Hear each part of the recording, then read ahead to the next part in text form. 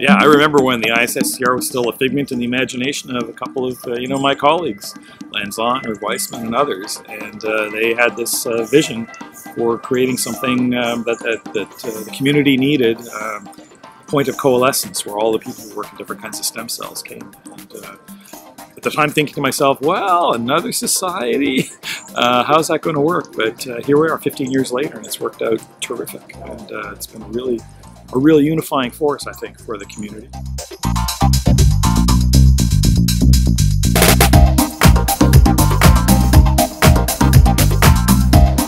Well, it's wonderful to be a founder of a society. It's a very unique privilege. And uh, when I started it, I had a vision, and there's absolutely no question this is the vision that I had.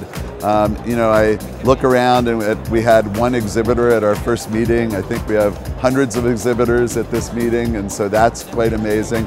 Um, we have young investigators who are presenting at these posters and participating, and to me that's so exciting and that we really want it to be a place where people grow and the society continues as a result of you know constant self-renewal which is part of stem cells and so as young investigators become old investigators that will be a lot of fun.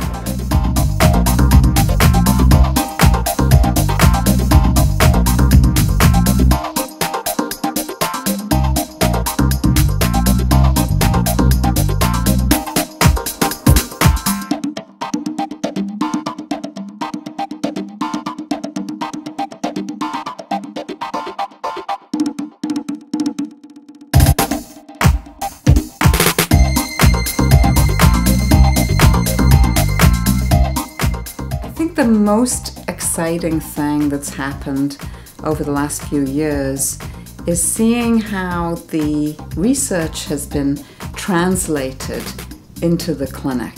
And we're seeing now more and more new therapies based on stem cell research entering the clinic, which is very exciting.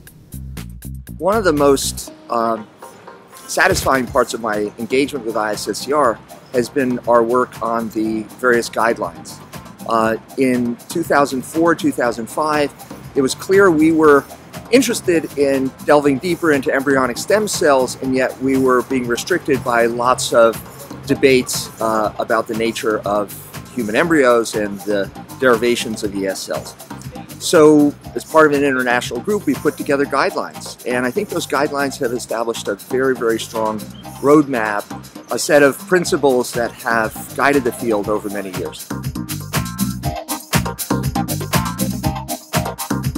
Journal, we think, sets the standard of how things should be done. And we're really excited that the, the board has been so supportive. Nearly all the papers in the first issues were board papers, so everybody was kind of shocked that we didn't uh, reject an awful lot of papers, but they were so good in the beginning, and now we have a kind of balance that's the same as every other journal. Education of the public obviously is crucial, and ISSCR has a very important role. So um, the whole, you know, general discussion, education. I'm usually having uh, the webpage of ISSCR where they try to explain stem cells and clinics and what we don't know about these therapies yet.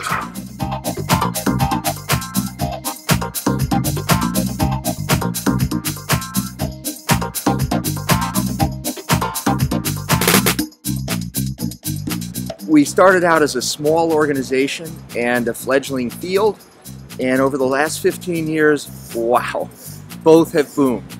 So field continues to be really exciting, and the ISSCR has now really blossomed into a 4,000 person operation that still represents the, the best of the field.